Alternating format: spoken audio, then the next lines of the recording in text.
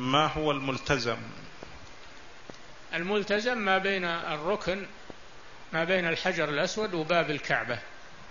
هذا محل الملتزم. نعم.